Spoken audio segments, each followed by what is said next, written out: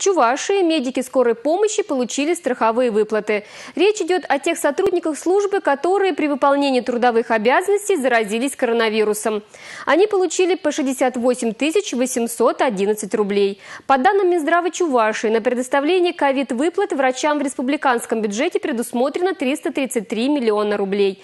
Большая часть этой суммы уже переведена медикам.